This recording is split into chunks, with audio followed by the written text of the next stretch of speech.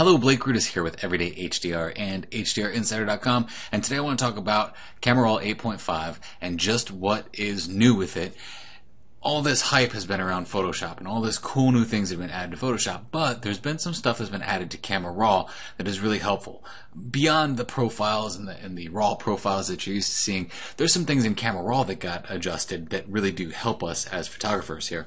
So the first thing I want to discuss, let me just go ahead and hit auto on here just to get a baseline is they actually added a preview toggle to go between. Now there used to be a little box up here that you could check and that would give you your before and afters for each panel that you're in.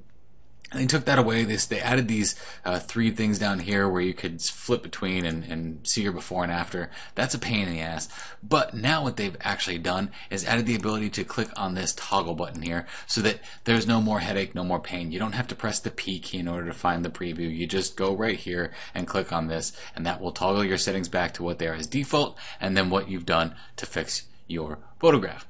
Now, the graduated filter and the radial filter is something that they, they did modify, and this is awesome because I used to do my own graduated filters in Photoshop because I had the ability to layer. Well, now you can essentially do the same thing right here in Adobe Camera Raw. So what I'm going to do is I'm just going to go ahead and just make a new uh, graduated filter here, just pull it down. I'm going to pull down really low so that this graduated filter, let's look at the mask here. Anything that's in blue is the graduated filter. Now you can click on that, you can change it. So I can change that to red, I can change it to yellow or green or whatever happy color I want. Um, and usually something contrasty like red yellow, green, that usually kind of helps to see your mask. Now, yellow is a is a color that exists in a lot of photographs, so I would go with something like maybe deep magenta, maybe deep red to do your masking. Even that dark blue helps out a lot. Now you can change the opacity on there too. If you don't want it to be so bright, you can knock it down. But what I like about it being all the way up is I can see all the stuff that's being affected. So this tells me that up here, really hard and heavy, is where that graduated filter is hitting, and then it's graduating its way on down and not affecting the stuff here. Now you can change it to what color is indicated. What's affected or not being affected. I like to see what is being affected. Okay? And you can also change the brightness of that, but if you bring it down, you get pretty much black, and that doesn't really help us. So I'm going to bring that all the way up. That's how I'm going to set up my own uh, mask color. You can choose whatever color you'd like. So I'm just going to go ahead and take that mask off for now, and I'm going to go ahead and, and just kind of edit this a little bit. I'm really just trying to get a basic, good-looking graduated filter here. Nothing too special though. Just increase that a little bit. Okay, and I'm not. I'm just kind of going through this pretty quick. I'm not really doing much of anything uh, as far as cognitively is concerned. I just want to show you how this new feature works in Adobe Camera Raw. So now what I can do is I can go into a brush because I wanted that to affect the sky, but I didn't want it to affect my foreground. So if I press the brush option, it's going to give me the ability to edit my uh, graduated filter. So I'm going to turn that mask back on. Now you can set this brush to auto mask.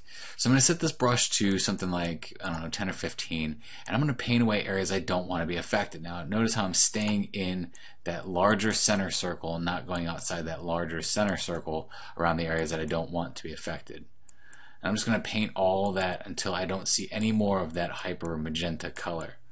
Now, if by chance it is not clicking not getting an area that I wanted to accept, you can just keep clicking until it recognizes that that is an area, or you can take the auto mask off, make your brush a little bit smaller, and just brush in those areas with the auto mask off, because that auto mask is just going to try and find the best areas there without affecting that spot. Okay, so that works pretty well for me. Go ahead and increase it just a little bit, make sure I got all this. Now when I turn that mask off, you'll see that it's only affecting the sky and it's not affecting my foreground. So we can make another graduated filter here. We'll just hit the new button, make another graduated filter and pull it up from the bottom. Now I don't want to use those same settings, so I'm just going to hit one of these plus buttons just to get me back to basics, and I'm just going to increase this to see what I want in that lower section there. Add some magenta to this, maybe take away some saturation because I don't want there to be a whole lot of saturation there. Increase the clarity, to get some dinginess in there, maybe increase the shadows a little bit and highlights. And maybe bring down the exposure to make it a little bit darker and then increase the high the contrast. Now, if I go into the brush and then click on my mask, I'm going to see that it's a, it's affecting part of my sky. I only want it, I don't want it to affect my sky, so I'm going to turn that auto mask on to get myself a nice baseline, and just kind of paint around until all of that kind of goes away. Now this is such a cool feature because I used to do all of my graduated filter masking in Photoshop. Uh, and sometimes I would skip over this, and this can be a really powerful technique, something that you don't necessarily want to skip over. Um, but because it was kind of limited in uh, Camera Raw to only affect areas uh, in very big chunks and not allow you to mask them out, it was kind of pointless. All right, so now if I click my mask off, you can see that this is only affecting, and I'll turn the overlay off so you don't see that. This is only affecting that bottom portion. So I've got two totally different graduated filters that are both happening by themselves on their own areas without affecting the other areas otherwise. If we didn't do it this way, we would have our gra graduated filters kind of blending into each other and all of the stuff that we were doing would be blended in and it wouldn't necessarily look so good. So this feature is incredible. It's, it's an awesome feature that they've added to not only the graduated filter, they've also added it to the I forget what this is, the radial filter. And that radial filter, I have yet to use it. So um, I think that got introduced when CC first got introduced, and I still haven't used that. A couple features that got introduced during CC that I haven't used are the oil paint filter too, so I don't really miss that one either. But that graduated filter, awesome technique, especially if you're a landscape photographer. I could see the radial filter if you're maybe a portrait photographer, but for us landscape guys, that graduated one's awesome. And now with the ability to make our own masks to segregate those areas only on the areas that we want is awesome. So kudos, Photoshop. I know that there's a lot of stuff going around, people have, having issues with bugs and stuff, but you did this right. Again, I'm Blake Rudis with Everyday HDR and HDRinsider.com. If you like this tutorial, go ahead and comment, share, subscribe. This is one of those things that maybe people don't know about because they're all caught up in the hype of what happened with Photoshop when in actuality something would happen with Camera Raw that's really helpful.